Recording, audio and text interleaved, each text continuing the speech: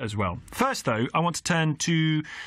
Well, I don't know how much it gets covered really. It used to get covered. I remember um, 2014.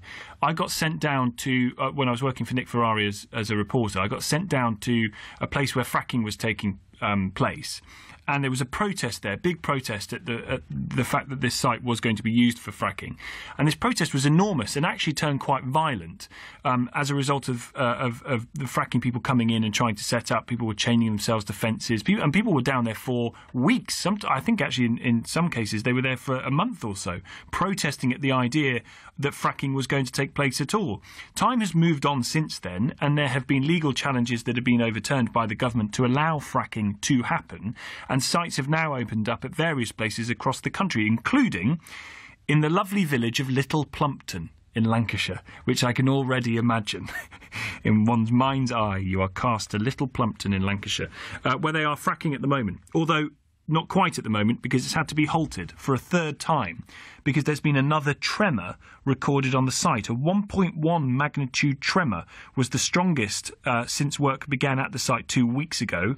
There have been two other seismic movements of 0.8 uh, tremor, it's not percent, is it? But on the it'd be Richter scale, wouldn't it? 0.8 on the Richter scale on Friday and Saturday. So Cuadrilla, who are the firm behind the fracking, have said that they've had to halt fracking for 18 hours while they investigate what's been going on. Um, and I just wonder whether there, if you are, live in an area of the country where fracking is taking place, Somerset, I think the places in Sussex, certainly in the northeast and the northwest, there are a lot of places where fracking is now taking place. Do you see it as a as a sort of a necessary evil that you have to put up with because it's right that the that the country tries to diversify where it gets its energy from. Because if you look what's happened to um, energy prices in the United States when it comes to fracking, there they've actually come down because of the United States being able to extract this. Um, this stuff from from from shale, shale, isn't it? I think. Listen, my knowledge of what fracking actually is is very limited, as you can already tell. But it's going on. It's happening in the US. It's clearly going to happen more in this country. I wonder what you make of it happening. Whether you completely oppose it, on what grounds? On grounds that it's dangerous, presumably, or whether you think, do you know what? We've got to find ways of providing our own energy. It's only going to get um, more uh, difficult for us to get our own energy as, as we look to, to have renewables and we look for other ways of, of getting energy that don't involve oil and coal.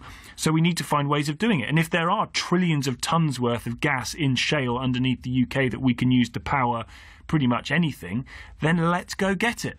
0345 6060 973. You will jump to the front of what, what is already an increasingly lengthening queue to get on air tonight if you are somebody that lives in one of these areas where fracking is taking place. If you are a resident in Little Plumpton, I would love to hear from you. Let's come to some experts first who can give us a picture of what fracking is like across the UK. Tom Burke is the chairman of E3G, third generation environmentalism, and a former government advisor on the environment. And Ken Wilkinson is a retired oil services engineer. Um, Ken, to you first. Tell us why the UK is fracking. What's it doing it for? Good evening.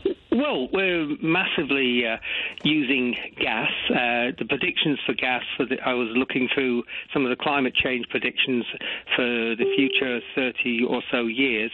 We're going to be using gas in substantial amounts. And at the moment, we're importing about half of our gas. That's going to rise to about 80%. It's coming from places which have poor regulatory regimes. Um, Russia's small at the moment, but it's to it's producing about 40% of the gas that's used in Europe. And basically, uh, we're going to be using the energy. Why don't we use the best? It's it's it's not the best uh, uh, lowest greenhouse gas uh, shale gas. It's slightly higher than natural gas from a, a natural reservoir, but it's much better than LNG. But Importing so, so, the stuff from Qatar is yeah. Uh, poor. You say we, have got to do this. We we need to rely on ourselves a bit more for lots of different reasons, environmental, yep. political. We need to get on with this. Okay. Yes. Ken, hang on the line. I want to bring in Tom Burke, chairman of E3G. Tom, do you think we need to get on with it and do it for economic and political and possibly financial reasons? I certainly don't. And and just to to make something clear. We're not actually fracking anywhere. There are lots of places where people are thinking about it, but the only place where we've actually done any fracking at all is Cuadrilla, and that's the site you were talking right. about. Thank That's you. been stopped because of the tremors. Absolutely again. agree. Yep. Yep. So, and, and do we need the gas? No, we don't need the gas. Um, we've got we've got gas. Uh, the world has got gas coming out of its ears. There's gas all over the place. There's lots of it around. So why should we import it then? Why do we import everything? I mean, should we import every single bit of our food and sit on our backsides, or should we be actually generating our own energy? We mined our own coal in the past, our own iron ore. Are we supposed to just be reliant on foreign countries? The, it's Let Tom Burke well come back to that, Ken. Hang on, Ken, safe. Ken, you posted your question. Let Tom Burke come back to that. Well, well, the, the basic reason why we should import it, we should buy the gas wherever it's cheapest, so that we keep bills down and keep our, our businesses competitive. Uh, and And sh- should- um, is there any uh, thinking that shale gas isn't going to be competitive? Yeah, absolutely right. There's no um, uh, support industry in this country for doing it. We've got much Yes, more there is. complex. We've got a massive national grid. Oh, uh, I'm of gas. sorry, we don't have any wildcat drillers. We don't have all the support and services that we Yes, you we need. do. for- We've we've run the North Hang on a sec, Ken. Ken, let, uh, Yeah, go on. I know you want to jump in, but let Tom let Tom make his point first. We, we simply don't have the industrial infrastructure to support fracking, on top of which the geology of Britain is very different from the geology of the United States. There's lots of fracturing. We're very unsure about uh, whether it'll actually be possible uh, in a lot of places where theory says there's gas, but uh, nobody's yet proved it up. Okay, So- let me come back uh, about the geology. In uh, the US, they generally have very thin bands of shale. Now, in the UK, it's much, much thicker, um, several, you know, thousand meters, which is there may be only 100 meters uh, plays in uh, the US. Is it thick That in means Little on a single on a single well pad, you could plug down maybe 60 wells and be generating huge amounts of gas for a long period of time. Plant a load of trees around it, nobody notices it. Well, well, hang on. You laterally drill about uh, well, tops around about two miles. So Yep. you have to build a pad. You drill out. Uh, you can drill lots of wells from one pad, but you drill them out about two miles. Then you have to go and build another pad. Chaps. Two miles, uh, f- four Chaps. miles away, so you drill Yeah, back chaps. another Yeah, two miles. Chaps. So you basically Guys. you you have to connect them all up. Lads, Yes, and Team? you don't. We've got gas pipes connecting Gentlemen. virtually Gentlemen. every house in, in the UK. But- but listen up. sorry, Hang on, uh, no, whoa, whoa, whoa. I'm in charge of this. Yes, No- okay, Tom, nomin- sorry. nominally, I'm in charge of this. Do, th- you, you've gone into great detail about the depth of shale and, and the pads that can be used. For for some of us who are first time frackers, Tom, can you explain what, what you feel the actual damage to the environment around places like Little Plumpton might actually be? Well, you're going to build a whole series of pads. You've got to connect them up. You have to put in huge amounts of water. You've got to uh, truck in the sand. You've got to take away all the water that comes back up from the wells when you've drilled them. You've got to uh, uh, treat that uh, before you can dispose of it. It's, it you basically you industrialize the country, which is why people in those areas where fracking is uh, proposed have got really furious about it. But do Oh, you? could I come in here now, Tom? Of course, Ken. Okay, I brought uh, complaints against various anti-frac groups, and, and industrialisation of the countryside has never ever been sustained by anybody. You're talking about a pad which is a couple of acres, uh, five miles from the next pad. Uh, the amount of trucks is all has to be in the planning document. Uh, building the pad takes a while, which is why it's great to drill 60 wells from, wells from one pad. But do we really need it? To quote the philosopher Carl Oh yeah. Well, look, why should we import stuff, paying good money to basically, uh, you know, m- mostly it's going to Norway at the moment, but increasingly it's going to, you know, ISIS supporting Qatar with the poor greenhouse gas footprint, and increasingly it's coming from Russia. So Does this have anything to do, Ken? Does this countries? does this have anything to do with Nord Stream three, two? No. There is Nord Nord Stream Stream 2, two. I think. Yeah, it's got Stream- nothing to do with that. The gas that Germany's getting from Russia. No. Well, that, some of it is coming through that. That's a new uh, gas pipeline, which means that we are basically, um, you know, at ransom to the Russians. If they suddenly decide to switch the taps off, they can. Is So that that fair, Tom? Is that not a fair point? I'm sorry, no, it's just scaremongering. Uh, the idea that we're at ransom to the Russians, uh, that's uh, we have. I forgot the number. I think at one time you could count up to about 50 different places where we can get gas. But what we should really be doing is driving bills down for our customers and our businesses by investing in energy efficiency. That's why gas demand has not been going up in Europe for the last uh, a decade or so. I you know, the agree idea that we've, we've got an expanding need for gas is, is, is sort of really rather out of date idea. But the problem is, if we're going to um, get to a lower carbon economy, I've spent about an hour reading through the Climate Change Committee 2018 report to Parliament this morning because I'm preparing something. Um, basically, the reason that we've decarbonised our economy uh, is because of gas and renewables. It's a very powerful combination. The main thing in terms of climate change, which everyone's worried about Yep. at the moment, is to get rid of coal. Well, i- and do we not help ourselves get rid of coal, Tom, by by trying fracking, by trying to No, extract we're going to get rid of coal in the next three years without, use, without using any more gas anyway. Uh, and um, you, you you don't need uh, gas for uh, power. That's renewables are going to provide us with the electricity we need. What you do need some gas for going forward, but nothing like as much as uh, some people think is uh, as for heat. People aren't going to change heating their houses uh, uh, very quickly, and so we're going to need some gas. But we've got we've got lots and lots of sources for gas, including we're still going to be producing gas in the North Sea for some time. So the We idea are, but that it, we need to it's do going to be about eight, 80% imports. That's the big problem. That's Well, what's that- projected that's in about somebody's 20 years. forecast, Gents, But, but Bain lads. has got all its forecasts about energy lost demand in this country again. wrong consistently over the last uh, decade. It just it just overestimates Gentlemen. enormously Gentlemen. what's going to happen. Gentlemen, Yep, yeah. Very, very grateful to you for coming on. I'm afraid we're completely run out of time, but I'm d- grateful to you for explaining the pros and cons of fracking and to, to do it in a way where clearly it, it ignites passion on both sides. Tom Burke, you're chairman of E3G, Third Generation Environmentalism, and thank you to you too, Ken, Ken Wilkinson. You're a retired oil services engineer. I'm going to dip my toe in this water. I'm not sure how many people are going to be as upset or pro fracking as our two guests because I'm not sure whether it's an issue that has really um, ignited much public feeling. Prove me wrong. 0345 6060 973. Fracking has been suspended again at Little Plumpton in Lancashire as a result of a third tremor that's taking place there. Do you think that we need to do this in order to try and see how much gas is stored in shale rock under the UK in order to be able to provide ourselves with an energy source into the future, or there are too, it's too dangerous, it's, it's so unnecessary, we don't need to do this, uh, and, and you are opposed to it, fundamentally opposed to it. 0345 6060 973. To frack or not to frack? Your call's next. 1116.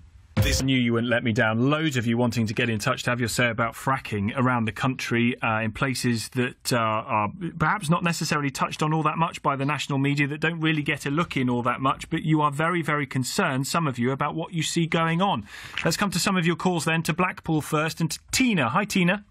Hi there. What do you make of. Um, of uh, have you got fracking around where you live? I, I'm literally about 10 minutes away from it now. Ah, Yeah. And so, a- um, and we, we've been fighting this every day for seven years. this is a You know, in proposed every way. site, right?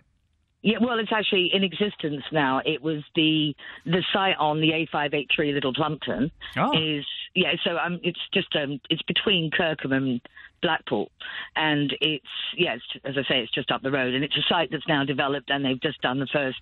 So you're near where this tremor happened. I, I'm here. I'm right over where the tremor happened. Yeah, Oh, where I'm staying is yeah. So and you, we've you been are here the every perfect day. caller. We've been here protesting every day for about 656 days now since they started building it. And now that they've actually reached this stage, it's just quite daunting. It's it's quite overwhelming, really. You know, we we watched the site get built. It was really difficult to go through that, but it's taken them 22 months on a job that should have taken them five months. So as a protest, I think we were very effective in slowing them down. Um, but now it's finally reached that stage, and and and uh, we now have residents like who are panicking and, and sending messages and saying, you know, I'm really concerned tonight. I'm concerned as I go to sleep. I'm worried about what will happen. You know, this has been 15. You know, on the 15th of October they started fracking, and on the 18th they started the earth tremors, and we've had 28 to now. So I know three only registered at 0.8, 0.8, and 1.1, which is high. Um, for, for, this type of work, mm-hmm. but we have had 28 seismic events listed by the um, BGS. The British Geological Survey. Yes, so it's listed as Blackpool earthquakes, and you can see it on there. And there are 28 of them. So today you we don't actually five. feel them, though, do you? I mean, no, but that's they're not so the issue. insignificant that you don't feel them. But it depends on whether you measure an earthquake by the fact of how it feels on your body being the most important thing. The most important thing when you're drilling a frac site is that the well integrity holds.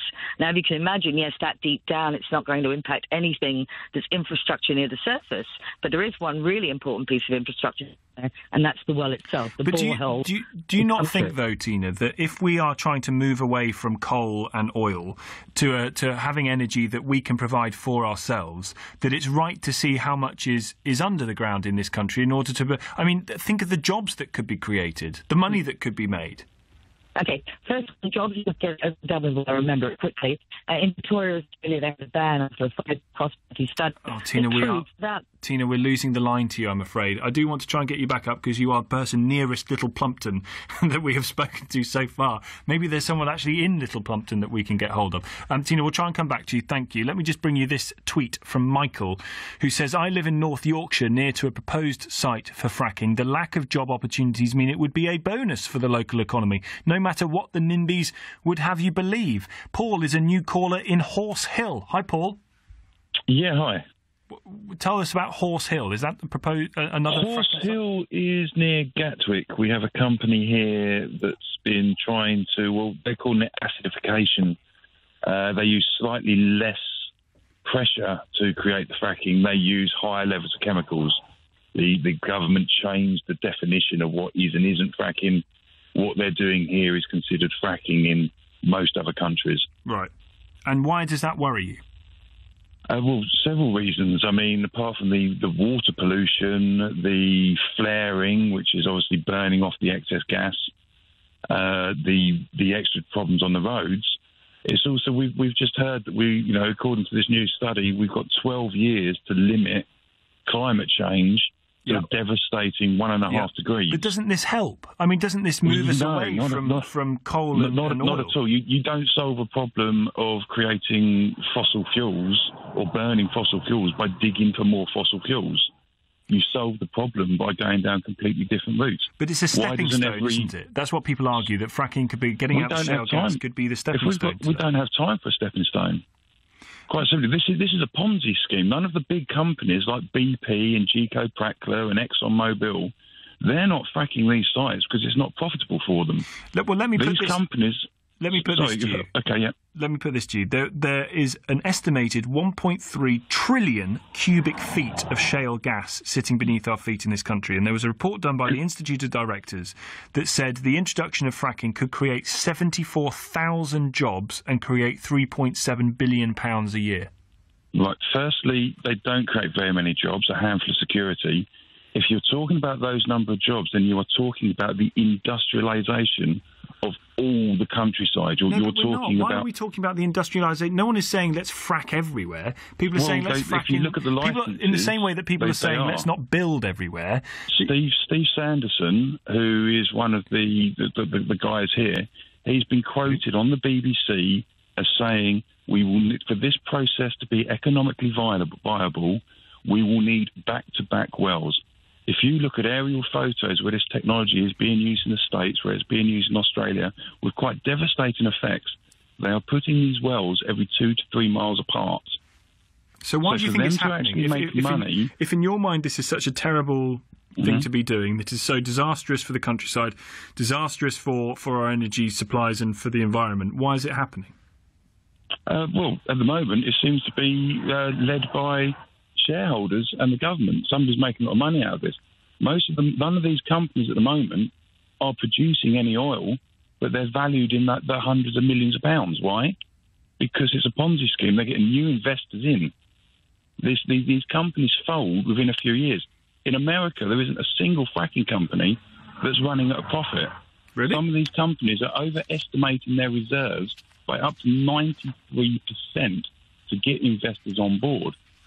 The, the, why, why, don't, why aren't we concentrating on, why doesn't every school, hospital, public building, why aren't they covering solar panels by now? Why isn't every out of town shopping centre covered in solar panels and have wind turbines Does it to work? at least try and though? Does it really work? Well, you, you build a shopping centre and you're expecting tens of thousands of people to drive there. Would you would you get everybody How to put solar panels on their house, on the roof of their house, as a way Do, to do solve we have time not to? Interesting question that we'll leave hanging, Paul. Thank you. Would you do that? Would you stick a solar panel on the roof of your house, or, or, or if you were forced to stick a solar panel on the roof of your house because you're worried about climate change? We did have that report the other week that said we've got basically 12 years to sort this all out. Paul, thank you. 0345 6060 973. Uh, obviously, there are a lot of people ringing who are very, very anti this, and, and Paul has uh, given us some reasons as to why. I do wonder whether there are people who are uh, either sort of sort of nothing this they kind of think well let's give it a go. If there's if there's money to be made and energy to be found let's let's do it. Or whether there are people who think um, like our guest earlier actually this is part of the way forward. If we're trying to get rid of our supply of our reliance of a supply of oil um, and coal and and on our reliance upon other countries to provide us with the energy that we need let's go ahead with it. 0345 6060 973 I don't know what's happened in Little Plumpton. Maybe we've woken them all up, but I've got a text here on 84850. Emma says, I'm a resident of Little Plumpton. I live about 400 metres away from the fracking site. The previous caller, who was very pro fracking, clearly doesn't live in a fracking area, and I doubt his opinions would be the same if he did. Concerns about environmental damage and water pollution to the surrounding areas are very worrying to local residents, and I guess only time will tell. The lack of national news coverage is perhaps very telling. Emma, welcome to the programme. Helen, welcome to you. You're in Halifax. Yeah, good evening. Thanks for having me on the show. Tell us what you want to say. Um, I've been very concerned about some of the dialogue that has been on your show because you quite rightly pointed out an international panel of climate scientists have said that we have 12 years to avert catastrophic climate breakdown, the likes of which we can't yet imagine. And we're actually sat here discussing whether or not we should be ex- importing gas when we're actually busy exporting gas. And we also have gas offshore. It's very dubious why we're even fracking anyway. But that wasn't what I wanted to um, come on your show about. I wanted to talk about the complete failure and the breakdown of the regulatory system which props up this industry, um, purely because people actually believe that it is in place. And as a result of years of investigation, um, and more recently actually researching and, and bringing with another campaign of a legal challenge which actually shut Cuadrilla down from fracking via the process of a, something called an emergency injunction. Right. He actually stopped Cuadrilla um, operating at the fracking site because um, the High Court actually thought that there was um, insufficient emergency evacuation plans and contingency plans in place for the local public should there be a major incident on the Preston New Road well site, and that that was something that should be examined in more Okay, detail. so so let's say, Helen, I, I appreciate the, the points that you're making about this c- concerns about safeguarding and all the rest of it. Let's say that those concerns are allayed and that that process is in place and that it's all done by by the book and everyone's relatively as happy as they can be. What do you say to the charge of you're just being a bit of a NIMBY, um, and we need to do this because we need to have a, a, a, a good energy supply. Maybe this is the stepping stone to far more, uh, u- far greater use of renewable energy. Let's just get on and do it. Um, I don't think that NIMBYism applies when we all live on a planet that will become very, very damaged as a result of the continual plundering of our resources of fossil fuels. I'm not a NIMBY, and if I actually um, was coming on your show to talk about um, the proliferation of the fossil fuel industry, that'd be another matter. But I did come on your show to speak about the immediate impacts, which you may call NIMBYism, to the local community, which is something that happens um, in the United States and other countries where fracking has happened, where where towns are evacuated for around a mile or more Really? for maybe, for maybe hours or days as a result of this industry. This isn't something that we should be allowing to happen. This isn't something that can be hand waved away as a minor safety concern. You know, these are major incidents, these are major um, things that can go wrong. And I do believe there were a number of residents at Grenfell Tower that tried to tell the authorities that there was something they should be paying attention to. And I think that as we sit on the precipice of a and it is the major industrialisation of the countryside, by the way. It would take tens of thousands of wells to make this industry anywhere near viable.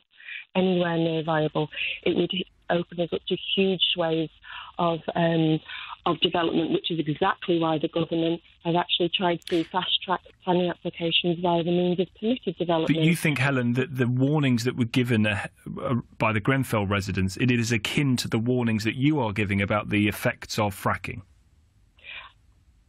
Absolutely. There is a real chance as there has been shown many times in the United States of well explosions and blowouts that have required the evacuation of the local population. Helen, we've got to leave it there for time reasons. I really appreciate you calling on this. We've got so many people wanting to ring in, lots of new callers from around the country as well, from places that really don't get a look in when it comes to the national media. Helen, thank you. 0345 6060 973. The prize now goes not to the residents of Little Plumpton, I think we got there, but to anyone who's listening, perhaps in the United States, in areas where where this is taking place on that point about safety. Is it true that these areas are being evacuated, that whole towns are having to run, flee because of the ill effects of, of fracking?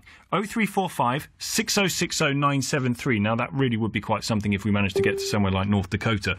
Is that your real name, Geza? Good evening. Uh, I changed it by deed poll when Cuadrilla uh, fracked my home in Lytham that I've now lost through fighting fracking uh, on April 1st, 2011. So, yes, it's uh, my real name by default. You changed your name to Geza Frackman? I did. My name's Geza Tarjanyi. It's Hungarian born in Bolton. And now uh, I've been fighting fracking uh, and I do it full time now to successfully so far. Uh, we're just waiting for an appeal now at the Supreme Court uh, again to take on Cuadrilla. And what happened to your house? it was damaged on April the 1st, 2011, in the early hours of the morning had cracks uh, in the walls and the inside walls. We had to repoint the outside. And we didn't know at the time that it was uh, fracking. We didn't find out till months later because uh, Cuadrilla, as usually, uh, denied any knowledge. Uh, found out months later what uh, fracking was, and I've been fighting it ever since. And why did you change the name? Uh, it was literally, uh, it, it, was for, in a way, publicity, but it was it was mainly because uh, they couldn't spell my name, nobody could pronounce Tarjanyi, so I just changed it to Frackman to simplify. And it's really paid off. It has paid off because it's brought uh, attention to what you're trying to do, which is to to stop wholesale fracking in this country, right? Well, it's not trying to do. We've successfully done that with the evidence. Uh, we were part of the group uh, that uh, that met in Lytham, where you know my house was. Uh, and we stopped uh, Cuadrilla. We've closed four sites that they had drilling sites on. We've been successful. Those were rubber stamped by Stuart Perigo, of uh, the planning officer at Lancashire County Council, uh, before we even knew about fracking. Uh, Anna's Road, Pre, uh, Farm, Grange Road, and now Becconsall are all closed. They're all now back to fields. That's down to the community with the evidence. We haven't got the money. We haven't got the backing of the government. We have done that by sheer hard work and determination because it's wrong. And the fear is, well, when you say it's wrong, it's wrong because it, it damages people like your good self. It damages your houses. It goes far beyond that. It turns fresh drinking water into toxic waste that they've got to dispose of.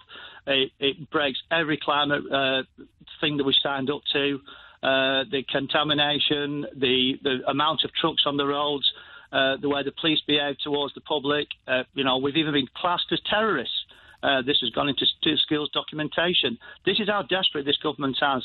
Every minister, uh, with you know, many ministers have, have, uh, mm-hmm. have, passed on this poison chalice because it's it's going to cost the Conservatives the next government. And when you get what, the fracking? boss of Cuadrilla, yes, when you get the boss of Cuadrilla, Lord Browne sitting on the table of David Cameron, then that corruption goes right into the heart of your government. And that's this, the amount of corruption that we've been fighting in Lancashire successfully. It was Sajid Javid who overruled that democratic decision mm-hmm. to put that side in that field, and now we are paying the consequences of it.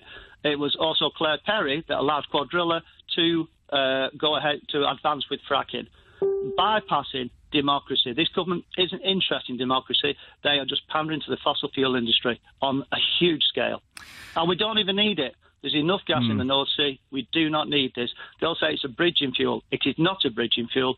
The bridging fuel is in the North Sea. We've phased that out. Uh, to, to, the point where we go back on, you know, we're going to renewables. It's this government that are absolutely decimating the renewable industry. Geza, great to talk to you. Fascinating story. Geza Frackman, whose house was damaged uh, as you heard, by fracking that took place, the fight that he has taken and others have taken to these uh, companies, Cuadrilla in this case, um, to get them to stop doing it because they say it would create so much damage. Look, we've heard a lot of people who are very, living in areas where fracking is taking place very, very angry about it. Do you do you think that fracking is justifiable? That it is justified in some sense to try and make the most of the energy that is apparently waiting to burst forth from the ground beneath our feet and potentially create thousands of jobs and make everybody a lot of money. Well, hopefully everybody. Some people will make more than others, of course. That's the way it works. 0345 6060 973. More of your calls after this. It's great that we're getting around the country tonight. So many calls from, from all over the place. Daniel's in Preston. Hi, Daniel. Hi, Tom. Hello, mate. Are you someone that also believes this stuff should just not happen at all because of the dangers of it? No, not at all. I feel it's uh, very beneficial to the whole country. Around 40% of the gas in the UK, in the UK or about 40% of the energy in the UK still comes from gas-fired power stations.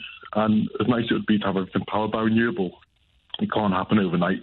Yeah. So we're still going to be relying on gas for at least the next 25 years to power these stations before they get converted to nuclear or go to renewable. So we're going to have to have time- something else, and we can't use. We might run out of oil or coal or whatever it might be, or that's becoming very difficult to use because of the climate change. Eventually, yeah, but to power these stations for the next 25 years, we will need gas, and it's much it's much more environmentally friendly to be digging up below your own feet to feed your power stations than to be drilling up in Qatar, pump it, compressing it into liquid, put, put it onto a ship, and then shipping it over to the UK. Hmm. What do you say to those people who you've heard tonight who say, well, it damaged my house, it's a corporate greed thing, it is a corruption issue, there aren't enough safety practices put into place that mean that we can take them to court? What do you, what do you say to them? The safety levels for this site are ridiculous. If any other industry were kept up to 0.5 of Richter scale, it, it wouldn't allow anything to happen. HS2 couldn't be built, Crossrail couldn't be built under those conditions. Most lorries would be taken off the road. What, because they create 0.5 on the Richter scale of a, of a Yeah, tremor? they can create, create over 0.5 on the Richter scale with the uh, equipment to put close to the road. That's why the recording equipment has to be put over 100 metres from a road. How do you know all this, Daniel? You seem well genned up on this one. Uh, I study engineering at university and we look at this. right. So, and, and, and to your mind, having looked at all of this, you're you're coming down on the side of this is not just um, doable, but also actually necessary. Yeah, I feel it's necessary, completely necessary, and I don't feel it's very dangerous either. Feel a lot of the stories are scaremongering stories. Uh, You talk about earthquakes and earth tremors at the moment. These are things so little they can't be felt. They can only be recorded by equipment, and they're similar to stuff like um, like a bus passing on the road. Is similar to a one Richter scale. But th- you do see, I mean, I've seen videos on YouTube of in the states people turning on their taps and being able to basically set fire to it. With very unscrupulous um, contractors, that is very possible. With it not cemented correctly, but that wouldn't happen under the stringent um, way that they have to do it in the UK. Also, it would never affect anyone in Blackpool, as their water comes from Wales and the Lake District. Does it? Yeah, it does not come from their local area. It comes from it's brought in from Wales and from the Lake District. See, I never knew Like that. either. near about half of Manchester, along with parts of Blackpool and Liverpool. See, I never knew that either. That's I, that's why I, I quite like doing these kinds of hours because I, I have no b- background knowledge to this stuff really. And then you get someone like your good self ringing up who's studying it all, saying, "Actually, do you know what? This is this is not just fine, but also needed." Daniel, thank you. Uh, let's go to Helen, another new caller who's also in Preston. Hi, Helen. Hi, hi there. Hi, Tom. Centre of the fracking world is Preston, and also the footballing world, in my opinion. Um, Yeah, um, basically, I think it's been a very disappointing budget for the environment. Um, we have enough offshore gas for a, a number of years yet. It was actually Blair's government that turned down the flow for gas. Um, we don't really need the shale gas. There's plenty out there in the North Sea. Um, one thing that really, really does concern me at the moment is the government has p- proposed a relaxation in the planning laws which apply to fracking. Um, under the plan, the, the preliminary drilling could be classed as permitted development, which is the same law that allowed people to build um, a small conservatory. This Right. is what really, really concerns me that this gets through. so you Um, you get people building dwellings on sites where they're fracking. Yeah, I mean, Is that your who wants? I mean, you could have um, get a apply for planning permission and have an oil rig put in your back garden. It's committed planning. Um, I really don't think it's something that needs to be taken to the local council to be decided on the local people, not the government. And you're Um, you're so you're worried about the extra building that takes place that might take place on these sites, and that is what other people have said is the industrialisation of the countryside. You feel that, that that is yeah, abs- I you feel that's real. don't agree with it. Um, and um, we don't have an, um, an adequate evacuation process on the Preston site, which is only down the road from where I live in Right. Ashton. 4,332 people li- live within one kilometre of the site, and then there's 196,000 live five kilometres away. We really, really do need a true, a true risk assessment of this site. And your fellow Prestonian Daniel, who says this is absolutely fine, don't worry about it. You say Well, we you're- are worried about it. You know, the schools nearby. There isn't um, an adequate um, evacu- ev- evacuation um, um, process. Um, and it, you know, it's it's it's all right saying have a few earthquakes every now and again. You know, it's it's rising every week. It's already risen, risen to 1.1. What's it going to be next week? So are Cuadrilla not getting the message? Um, you know, it's, it's not time to say stop. You know, enough's enough. I think we've had a few warnings now, and I think we should be listening to it. Well, that that reflects what some of our callers were saying earlier that they keep warning these companies and, and the government about the effects of it and don't seem to be listened to, and it will take something very, very bad happening for them to heed them.